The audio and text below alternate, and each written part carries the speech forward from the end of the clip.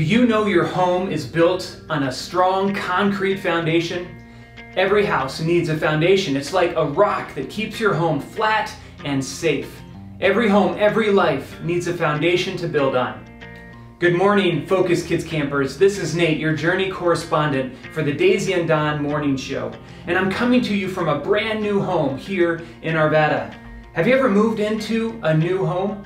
When you move, all your stuff goes into boxes just like these, and you move those boxes from your old home to your new home. Do you know who is moving into this apartment? Yesterday, I told you about the Chafee program here in Jefferson County. It helps young adults who are aging out of the foster care system in our community and helps get them into their first homes, their very first apartments. Many of these young adults work hard to build a foundation for their life. They're going to school, they're working full-time jobs, they're, they're helping out others that live around them. It's a lot for a young adult to have to take on. And so we, we want to help them. This is a picture of Susan. She is one of the young adults that was in the Chafee program a few years ago, and she told us this about the program. It is a foundation to give you a good jump start to independent living. So it's a once in a lifetime opportunity. It is a foundation, she says. Jesus talks about foundations in the Bible story today. They are so important. So we're going to help three young adults move into their very first homes. The money that you're collecting and raising is going to help provide them with an amazing move-in kit.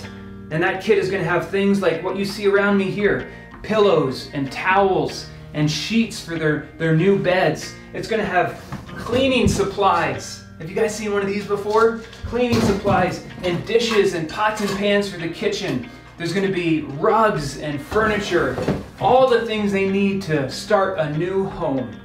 We are so excited that we get to help them out. Remember, our goal is to raise $3,000 for the Chafee program, about $1,000 for each one of these young adults. Send us some pictures of what you're doing to raise money. We want to celebrate the work that you're putting in this week to support these young adults and also to support a Rock and Seeds Academy. We're going to hear about them tomorrow.